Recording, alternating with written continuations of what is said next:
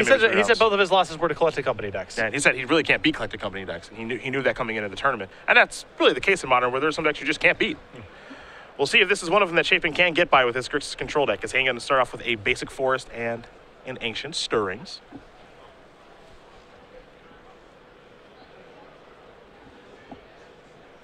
Counter spells so important against this Amulet Bloom deck because there's only so much action in the deck. Chapin here in the main deck, two copies of Spell Snare, a Dispel, two mana leaks, a Remand, and four copies of Cryptic Command. Gruul Turf was the land that was found. Chapin will sacrifice a fetch land here.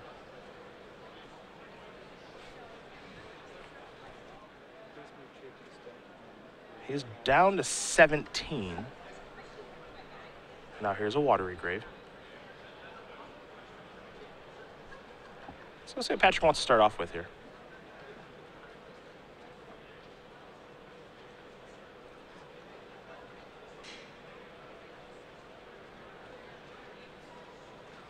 Scalding Tarn was the land that was sacrificed for Chapin.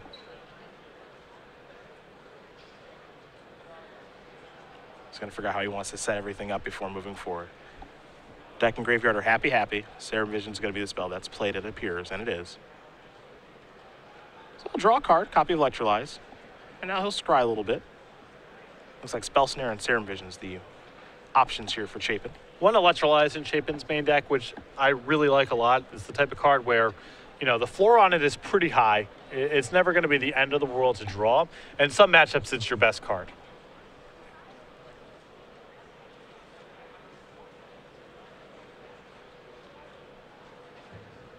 Looks like both cards are headed to the bottom here for the Innovator. He'll pass the turn back over to Hayne. Who do you think has the better nickname here, the Innovator or Insane Hayne? The Innovator. Yeah? Yeah. I'm leaning toward Insane Hayne, actually, as he's casting an Ancient Stirrings. Insane Hayne's good. I always felt rhyming with your last name is kind of a cheat. I, I actually, I'm okay with it because a lot of people can't rhyme with their last name. So if you can, you should take advantage of it. For example, Phillips. Mm-hmm. I'm just stuck. I can't do anything. I don't think you can do anything either. What about Thrill Ups? Yeah, n- well, That was easy. That that took me two seconds. you are a genius. That one's for free. You can, are- You can keep Thrill Ups. You are a genius. A Exhibit growth chamber. That's the land for the turn. Lord. There are some days I just wish I was you. little manipulation here from Chapin. It'll be a thought scour. And we'll draw a card. He's filling up that graveyard because he wants to delve. Is it Tasigur or the Angler? It's Tasigur, a turn two Tasigur. That, that's what this deck's all about. Yep. He can play a turn two Tasigur or, or Angler in this deck. And you saw Shadow of Doubt get flipped over to another card that I love in Chapin's deck because it's much the same story as Electrolyze. Pretty low cost. It's never going to be a disaster to draw, and it's going to have moments of being so good that it wins the game by itself. Is it Summer Bloom time? A third Stirrings. Stirrings, it's kind of interesting in this deck. I mean, it, it of course finds lands and Amulet, and it's finally found an Amulet. Hayne has gone through so many cards. He's got a blue mana floating. So we'll see if he can go full blown nuts here. It doesn't take much. Well, the thing is, I, I feel like he really needs Amulet this turn because if Chapin untaps with the counterspell wall up, it becomes really hard for him to get Summer Bloom or uh, Amulet to resolve. And at that point, he's just making land drops and trying to get to Primeval Titan or Hive Mind. That's very hard to do. So, looks like Hayne does have the Amulet. Very important this turn. There's a forest. There's another Amulet. Boy, this could this could get out of control real fast. Chapin with only two copies of Kolaghan's command in his deck to get these amulets off the table. And of course, even if he has one, Hayne goes in the next turn with the other. And Island the draw.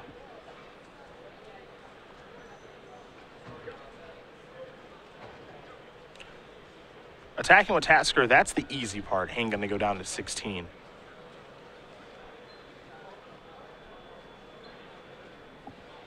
Now things get a little rough for the Innovator because this Bloom deck can get out of control.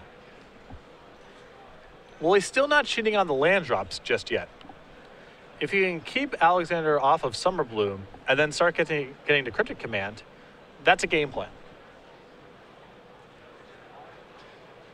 There's Kolaghan's command.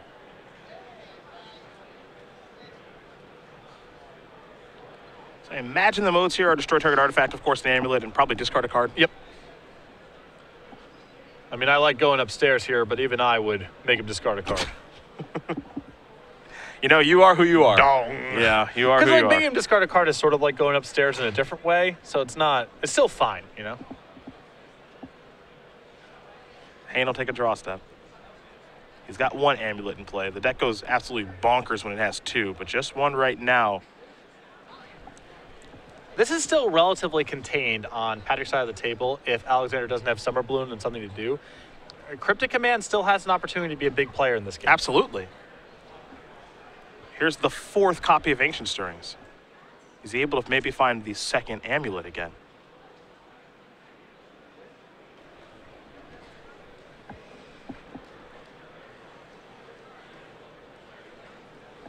One thing, it's unlikely that he'll ever miss with amulet in this deck, or excuse me, with Ancient Stirrings in this deck. But it is mostly there to find Amulet of Vigor. Found a Tolaria West this time. Tolaria West going to enter the battlefield. It'll untap now. We might see a transmute of a Tolaria West, and we will. We'll see what Hayne wants to transmute for. We see him aggressively use Summoner's Pacts for Azusa. And he's going to search up a Summoner's Pact. But this is good news for Chapin as long as he has a counterspell available. What Chapin would not have liked to see that turn is if Alexander got Cavern of Souls, because that means he already has a Primeval Titan lined up, and the counterspells are no good. If Alexander is having to tutor for Primeval Titan, uh, again, Chapin's Cryptic Commands, his mana leaks, even Remand has the possibility of being very, very good, and he's got Alexander under some pressure here. Four turn is no joke. He's got some bolts and electrolyzes in his deck to finish things off. He just drew, drew land number four for Cryptic Command. I think that that land was the big draw here because now he can play that untapped and bounce the Simic Growth Chamber, and he might be doing just fine. He's going to pass the turn back for now, and he might just be fine saying, I'm going to leave four mana for Cryptic Command and respond to what you're doing. The danger with bouncing the land is that if Alexander goes, okay, Summer Bloom, he goes berserk this Yeah. turn. So he's better off sitting on his hands. He'll counter whatever, and, and Alexander, by getting Summer Bloom last turn, is sort of representing, well, I, I'm going to try to tutor for Primeval Titan and cast it. And Cryptic Command's awesome against that sequence. If Alexander does nothing, I think then your play becomes online. Maybe he bounces the Growth Chamber at that point, assuming he has another counterspell in his hand and can afford to set him back. There's also the chance there that if Hayne doesn't do very much, Chapin also just does nothing. Yeah, for sure. There's nothing that says he has to cast a spell. Maybe he, activates Tasigur. Yeah. You know, whatever.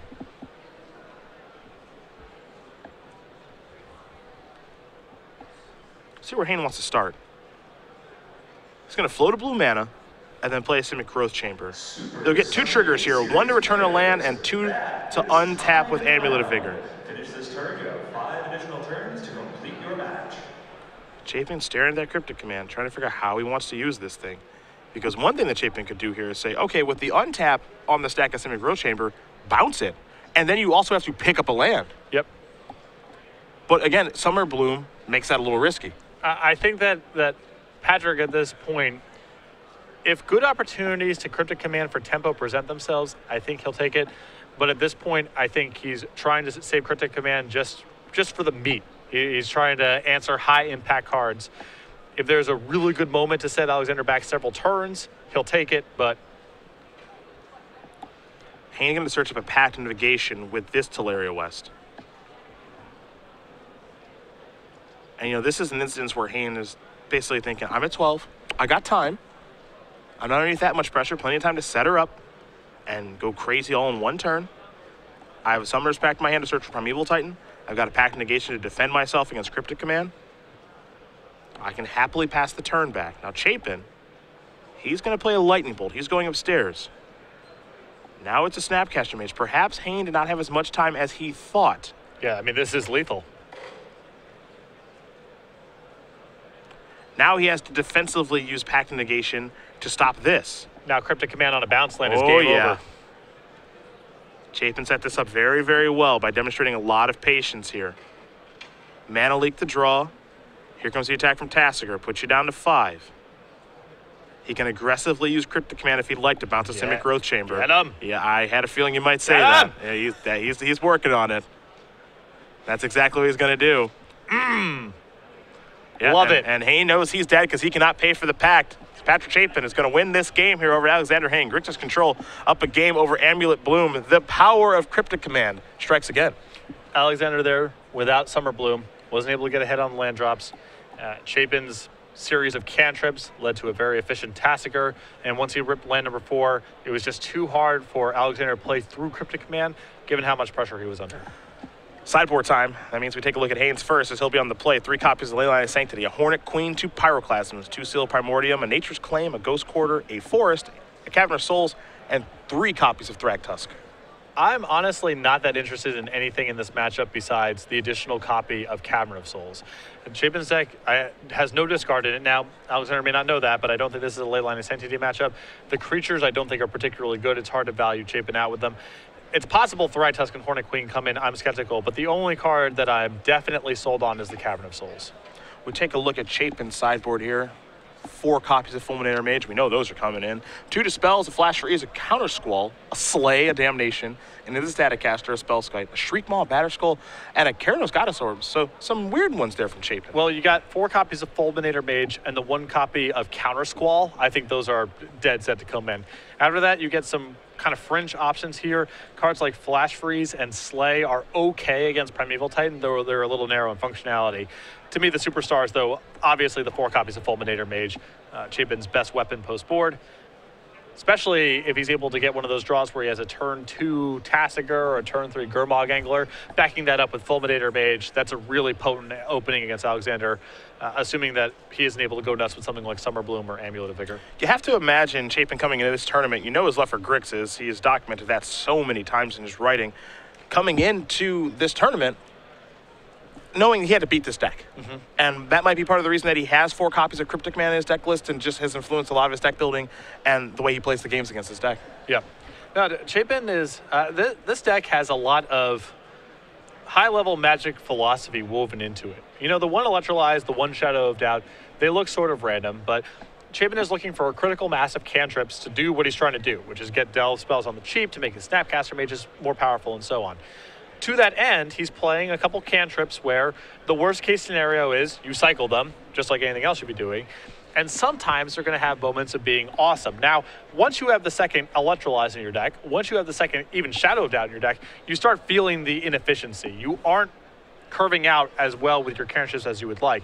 But if you have a little bit of wiggle room, there's a lot of value to be gained by having some of these high upside cantrips. Four th- Serum Visions and four Thought Scours to supplement the Tasigurs, the Gurmag Anglers, and the four Snapcaster Mages. The deck is all about velocity. It's shaving out some lands as a result of all the cantrips. And uh, even some of the weird one-ofs ha- have cohesion given what the deck is trying to accomplish. We had the uh, nickname conversation between the Innovator and Insane Hayne. People chiming in on their thoughts Yep. using the hashtag GP Charlotte. They also have a nickname for you here. Devin O'Donnell, uh, someone who did top eight at Star City Games Invitational last year, decided to call you No Mulligan Sullivan. Is that because that's true or because it, that just sort of rhymes? A little bit of both, I think. We could stick with that. It sort of rhymes. It's like a Drake rhyme. like it sort of it, it doesn't actually rhyme, but it sort of rhymes. We're taking shots at Drake here now. Drake, I, Yeah. I believe Drake is watching. Yeah. So, hello, Drake. Yeah. How are you? Uh, how about Patrick Sulla wins by Andrew Lyons? Nope. Not for you. Not you? even accurate. No mulligan is closer than wins. You know? If we if we care about accuracy at all. Uh, and I also have one here, perhaps calling me the Phillips screwdriver We got to get off this. instead, I- instead, I'm- of, instead I'm- of Thrillips. I'm, I'm basically going to be hypercritical of every nickname that comes down the pipeline. I appreciate it. It's listen. It's not your fault. It's mine. It's, it's on you. Yes, it- it's on you. This is because of my disposition, not because these suggestions are particularly bad. We're gonna find a nickname for you. I know at one point in your life you went by the Rainmaker. Yep, the Rainmaker. Yeah, Rainmaker Red, a- an infamous archetype. Mm-hmm. We'll find something that works for you. Nothing as good as the Innovator or Insane Hayne just yet, but maybe our wonderful viewers can find a nickname that works for you. I do like No Mulligan Sullivan a little bit. We're right. We're on the cusp there of where we need to be. Yeah, Rainmaker Red. I remember. I said. I said infamous. I said infamous.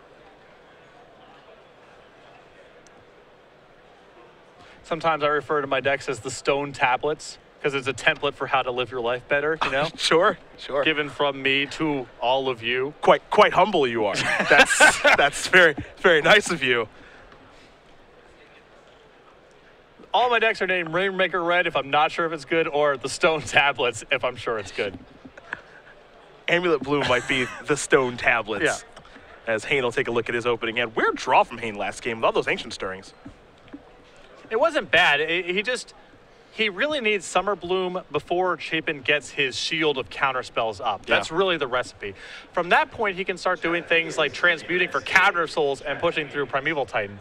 But when it's just a land drop a turn, even backed up by Amulet, Chapin's counter spells have a good chance of being functional.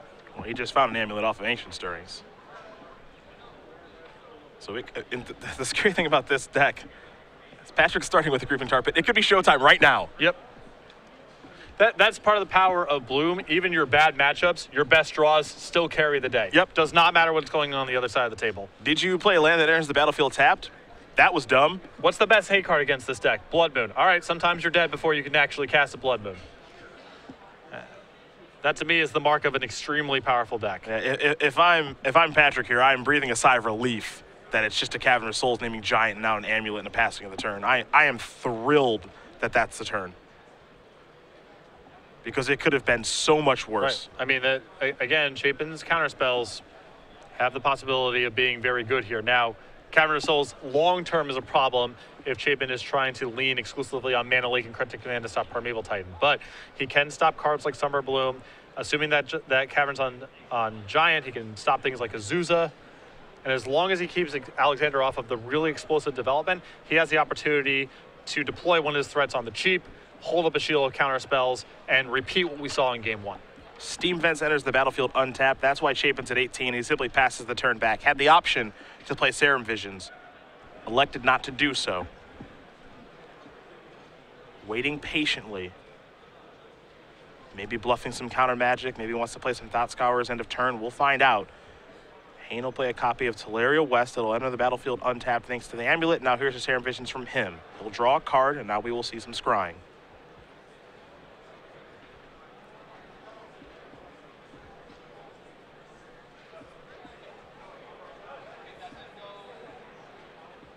Both cards going to stay on top. That's always scary, and just a passing of the turn. So perhaps what Hayne is missing right now is a bounce land. Perhaps. Perhaps. Cryptic Command the draw here for Chapin. Or he just needs blue mana now.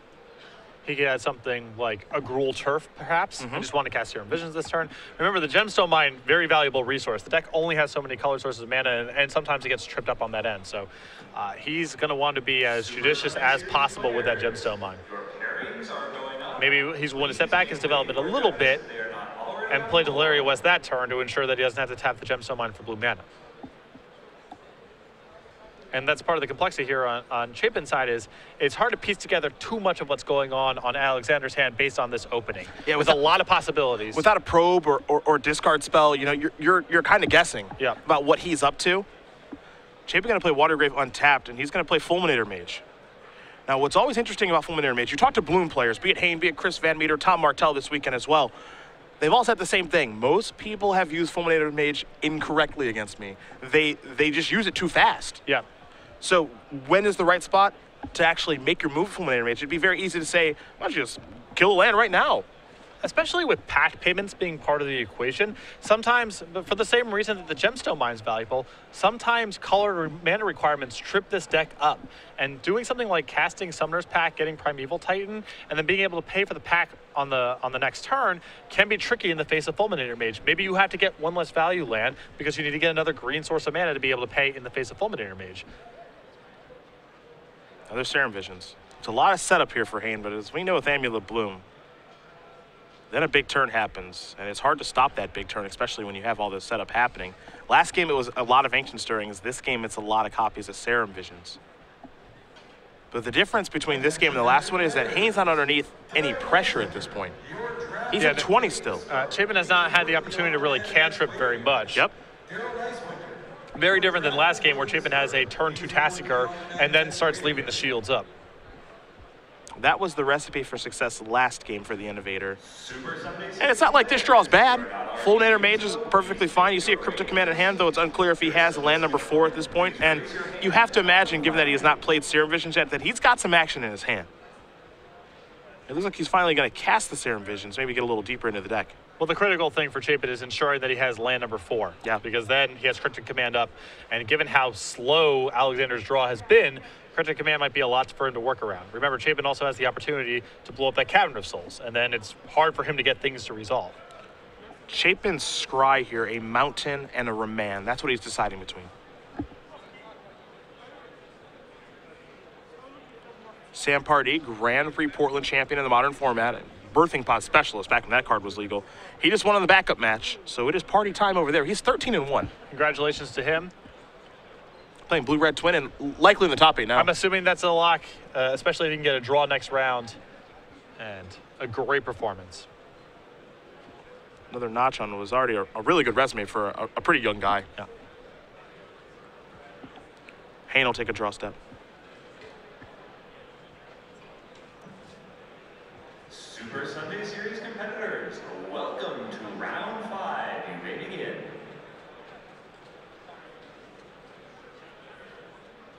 There's Cavern Souls. We know that Hayne has one in his main, one in his board. And I think we're going to name Beast this go around. Perhaps Chapin didn't see this one coming. As Hayne might be trying to play just a more normalized game. Yeah, I, I think that Chapin's pretty well equipped to fight this sort of game. Okay. It's not, uh, Thragtusk is fine here, um, but it's not the end of the world for Chapin to trade off resources with the Thragtusk because Alexander's not really taxing many of his resources here. It's more about stopping him from, from going crazy. But there's a lot of individual cards in Alexander's deck that don't really matter. So, uh, Thragtusk, I think, is it's good in this spot. Certainly something castable, especially given how slow Alexander's start is. But uh, I think Chapin can work his way through a Thragtusk. Chapin's going to have Thought Scour target Hayne. Turns over Ancient Stirrings and a Pact Negation. Chapin will draw his card because he wanted both the Mountain and the Remand, so he did not want to target himself. Uh, really needed to land number four. Yeah. And he'll just pass the turn back. If you have ever watched or played against Patrick Chapin with four mana in handing, Cryptic Command at the ready, he is surgical. You can have your 5 3, man. Yep, It's all yours. this is right at home for him.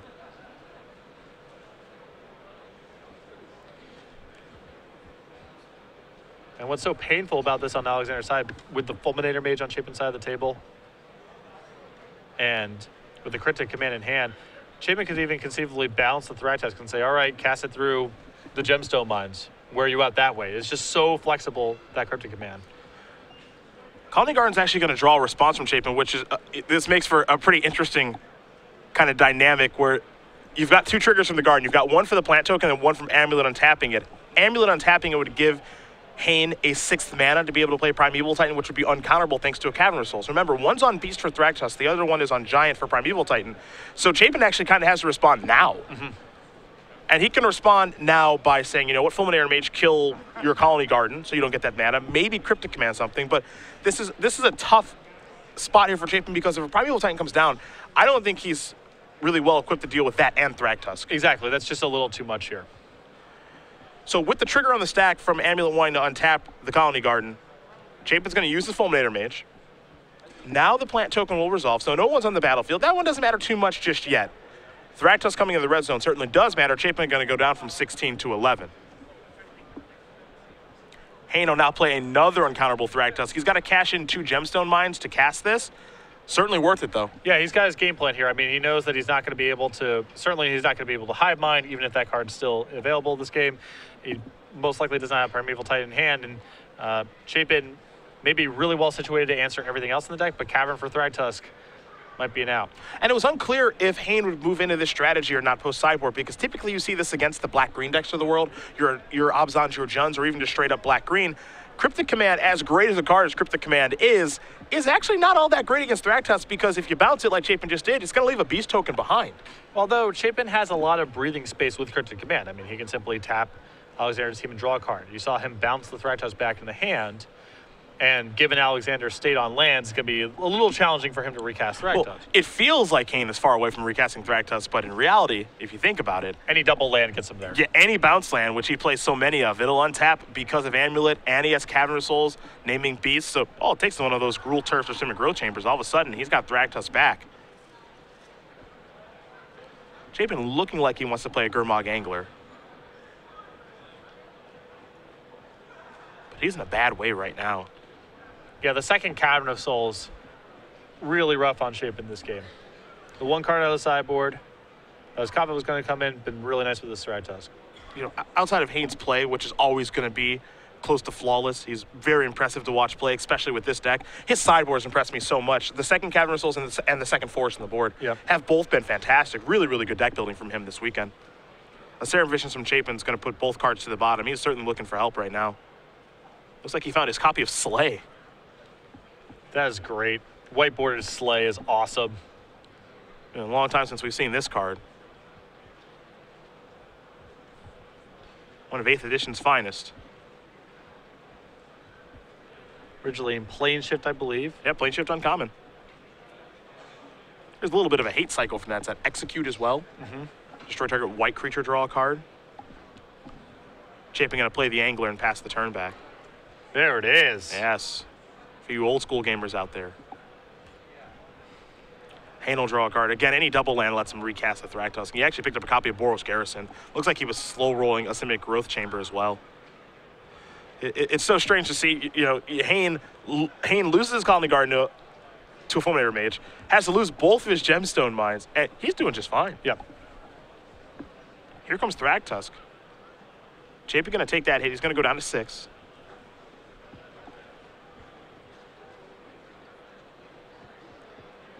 Now Hayne's gonna play Selesnya Sanctuary.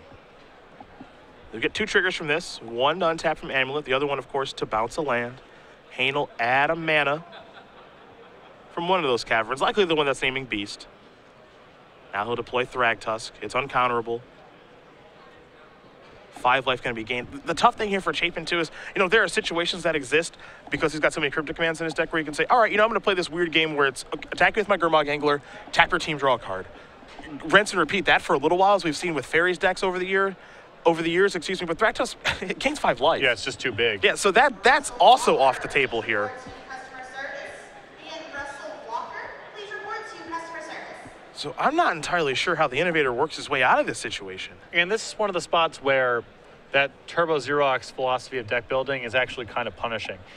Uh, Chapin does not have the bandwidth right now to spend even a mana on cantrips. He needs to be playing to the board with all of his mana every single turn. Yep. And he would really like to be making some more land drops here. All Chapin can do is pass the turn back. We might be in cryptic command mode here. Slay is also an option. Didn't think I'd be saying that today. I've seen a little uptick in Slay and Jund sideboards. Play one copy, you play in a mirror match, you'll be pretty stoked to have it. Yeah. A lot of, a lot of that matchup is about two for ones.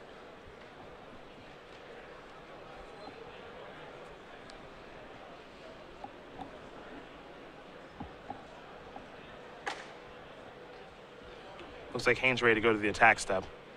Chapin has given him the green light. The beast token's coming in too. Right now, this is a lethal attack. Chapin looks like he's going to block the beast token. And now it is time to slay a Thragtusk. And that gets out of combat. Chapin falls to one in all of this. Gets to draw a card, picked up a copy of Dispel. A beast token will be left behind, of course. Chapin will go down to one. Hayne will lose a beast token thanks to the angler. So Chapin's trying to work his way through this. Hayne is going to play a copy of Boros Garrison. And the tough thing here is that he actually has a Primeval Titan as a follow up. The cavern that he left in play, he picked up the one naming Beast last turn, he left the one naming Giant, so this Primeval Titan's going to be uncounterable, which means he'll get to search for some lands. And I, I believe he's built too much of an advantage. Yeah. I, if it was just the Thragtusk and Alexander was kind of out of action, it's possible, you know, Chapin next turn plays a Tasigur And then he's actually got the Thragtusk and the Beast token checked for the time being. But at one life, this is too much to overcome. Gonna search for a couple of lands here. Will Hayne gets to transmute, maybe a pack negation, yeah, for a little bit of defense. We have seen this play before. Able to protect himself with this great board on the table. Chapin draws a copy of Snapcaster Mage, still has that copy of Cryptic Command in hand.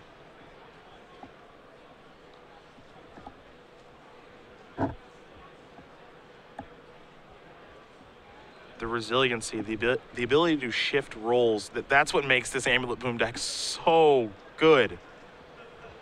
It had nothing to do with Summer Bloom that game. Nope. Nothing. Nothing. No hive minds necessary. None of that combo stuff. I'm gonna play Thragtusk. You're gonna try to beat Thragtusk. I'm gonna play another one. That's hard enough for you to beat. The entire time, it's looming that I can do something completely broken. So it just contorts the way Chapin has to play the entire game. And the, the, the big thing for me, uh, the big difference in that game is Chapin did not have something on the board early. Yeah. Because his deck is not very good at making his land drops. He's, he's rarely going to go one, two, three, four, five, six, seven, eight. He has a lot of counter spells, but it's hard for him to get in a spot where he's trading multiple counter spells together in the same turn because he's light on lands. So what he needs to do is get something into play, and at that point, Alexander's kind of forced to play into a Mana Leak one turn, into Cryptic Command the next turn, into Snapcaster and a Mana Leak the following turn, and so on. But if Chapin's not applying any pressure, that gives Alexander a lot of time to make his land drops, find the right mixture, whether it's Cavern of Souls or uh, the right threat card, what have you, and overload or invalidate Chapin's permission. So it's got to start with Gurmag Angler and Tasigur, I think, on Chapin's side of the table. And probably early as turn two. Yeah. if we're being honest, because of how explosive Amulet Bloom can be. You think about game one, just compare the two games that we watched. Chapin in game two is able to play a Tasigur, and all of a sudden it's Hayne's plays that are contorted a little bit because Haynes doesn't get to do all of this Serum visioning and setting up and pacing the game because I'm not underneath any pressure. Game game two, Hayne had all the time in the world, got to play around Fulminator Mage appropriately, got to play around Cryptic Command, get his shop online while being able to threaten the ability to go crazy with Primeval Titan. Those games are night and day. Game one is how Chapin wants things to go, and, and truthfully, how I feel he needs things to go. Yeah, he, he, in game one, he was able to use Cryptic Command. He had so much versatility with how he could play Cryptic Command. We were talking the entire time. He can counter a key spell here. He can bounce Simic, Growth Chamber set Alexander back, et cetera, et cetera. That's because he was on the front foot. Yeah. And when, when that happens, Cryptic Command covers all of your bases.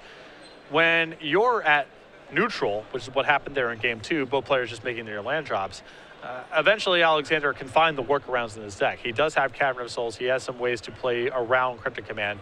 He can also just set up two spells in one turn. There- There, there's a variety of options. So um, it's really important for, for Chapin to put him under some pressure, force Alexander to play something ahead of when he wants to, and allow Cryptic Command to shut all the doors. Game number three going to be underway here between these two Pro Tour champions in just a moment. But if you are just joining us, Cedric Phillips, Patrick Sullivan here in the booth. We've got Nick Miller and Ken Crocker in the sideboard doing your deck techs, doing your quick questions, and picking these great feature matches like this one right now, along with the rest of the SCG Live crew. At SCG Live, hashtag GP Charlotte all weekend long for your tweets. We've been interacting with you guys all weekend long, and we have thoroughly enjoyed it. Yep. And we've been enjoying this tournament too. We got to watch a lot of great magic been here. great. If you had to summarize game one, you would say Chapin got to four mana, and now he gets to leave up Cryptic Command. If you had to summarize game two, you would say Chapin got to four mana, and now he has to leave up Cryptic Command. Yeah. The very different modes. Chapin wants to be in the first one. And Hayne made it in game two, where Cryptic Command wasn't even very good. No, it, I think Chapin conceded with a Cryptic Command in his hand, Mm-hmm. knowing that it was not going to help him. A polluted delta is where Chapin does start. Here's the Serum Visions for Hayne. He'll have to take one from a Mana Confluence. So he'll draw a card. Now it's time to scry here for Insane Hayne. And we'll see where these cards do go. And Chapin's start of just a polluted delta and pass it doesn't mean he has nothing to do on turn number one because he has cards like Spell Snare in his deck, but I'm interested to see if there's a Thought Scour coming. Yep. Very odd for Chapin's deck to be missing on cantrips. I mean, he's got a lot of them. And really, you know, Serum Visions is a good card in Chapin's deck, but Thought Scour is a great card in his deck because it does facilitate a, turn two Angler or a turn two Tasigur, depending on how the cards do line up. He's very quickly, you know, sacrificing his Delta, playing a Watery Grave on tap, going to 17. I think we're going to have a Thought Scour here in just a moment. We'll see if he can get one of those Delve creatures and play early. Yeah, that, that to me is the important part here. Once he's actually doing that, his cantrips become a lot more powerful. Uh, he almost moved to his turn. There's the Thought Scour. I was hoping he wasn't taking three for no reason, so he'll turn over two cards. Now he'll take a draw step. So he's got four cards in the graveyard right now. Again, two from Thought Scour, one for Thought Scour itself, and then a fetch land. Now here's a Sulfur Falls and a passing of the turn. So no insane delve card just yet. But you see Gurmag Angler, you see Terminate for protection. This seems like a better mixture of cards than what we saw in game number two. Now we head back Hayne's way.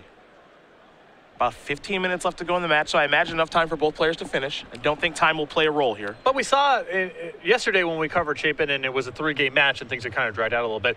He started playing faster and a bit looser when time became a concern, and I think that Thought Scour was almost the same thing. Yeah. He's he's aware that 15 minutes is probably enough time to get this match done, but he doesn't want to be up against the wall here, and he's going to be playing a little bit faster as a result. Hayne will just a Tendo Ice Bridge and a passing of the turn. Chapin will pick up a copy of Sulphur Falls. That'll be the land for the turn. Perhaps it's time to go to the Angler. Again, he does have four cards in his graveyard. Well, now he's in the spot where he has to figure out, okay, is Exile- Alexander slow rolling Summer Bloom and Insanity, or is he just going to make a land drop next turn? If it's the latter, this plays great because next turn he has Cryptic Command, he has land number four already rolled up, and he's got a clock going. But this is an opportunity for Hayne to go bananas this turn. You can't see him, but Chapin's fingers, at least mentally, they are crossed right Yeah. now. Because if Alexander just goes land, go, Chapin's in great position. Much like game one. But you see Alexander doing some math, tapping his fingers on the table a little bit. Moving some cards back and forth. Okay. There's an amulet. There's a summoner's pact.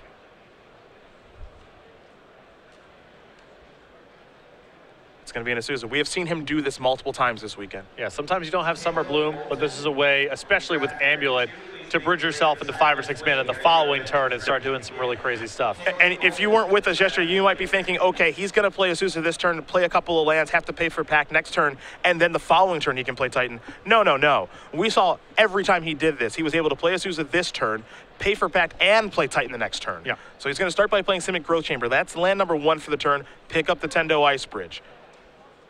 Amulet, of course, is going to untap that. This will allow Hayne to play the Azusa now, and this will give him two additional land drops. Attention magic players. Mini skip So we'll see what the next land drop will be. And we know he's got a Tendo Ice Bridge in hand, so that's certainly an option at this point. It's very important for him to leave mana in play where he can pay for Summoner's Pact even if Chapin Cryptic commands one of the lands back to his hand. That's the most important thing in this sequence. Tendo Ice Bridge is one.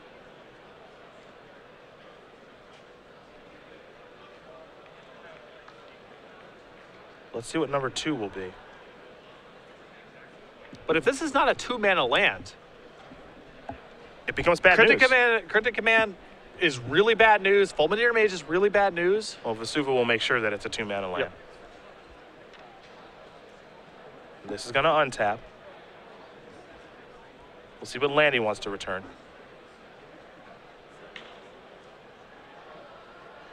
Wow, he copied Mana Confluence.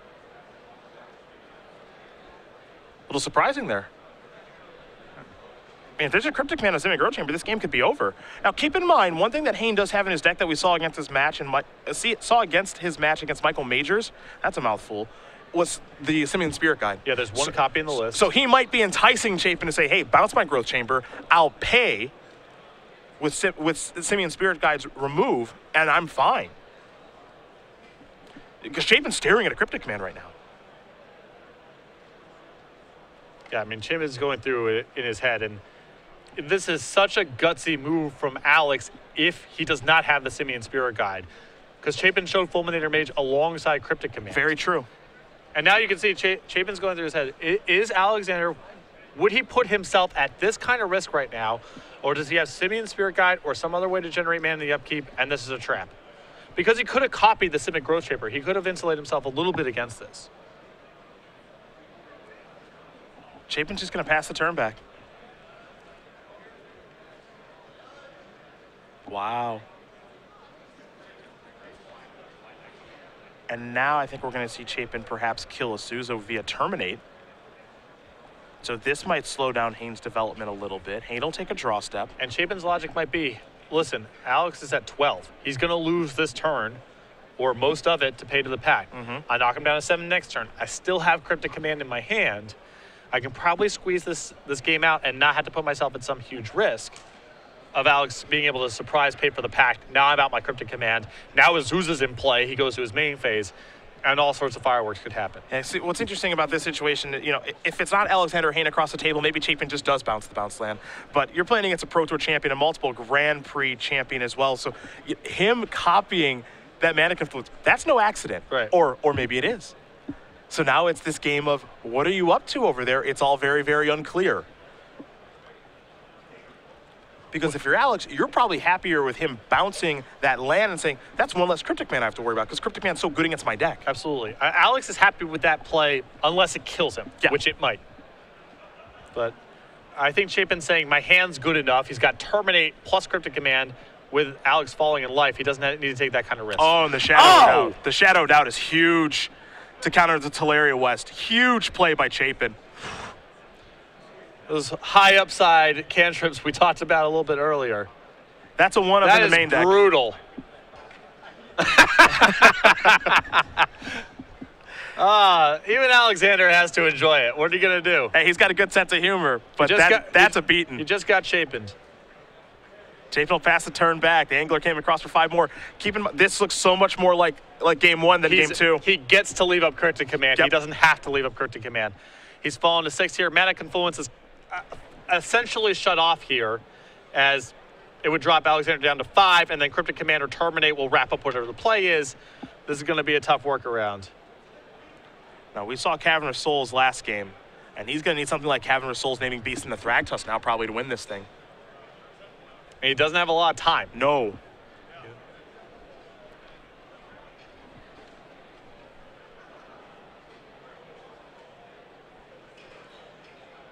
Hayne took a look at his sideboard very quickly. Wanted to make sure about his options that he still does have available. He'll play a Cavern of Souls. He names Titan to cast Primeval Titan. He's not out of this thing yet.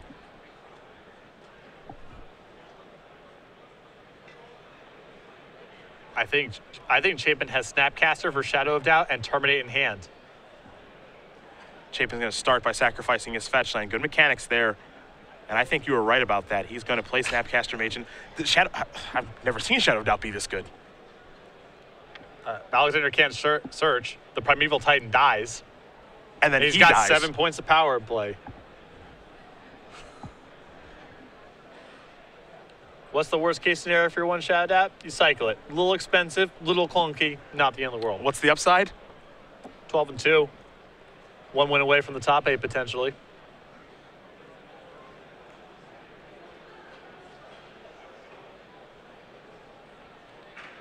Here is Snapcaster Mage. Ain't taking a look at that graveyard.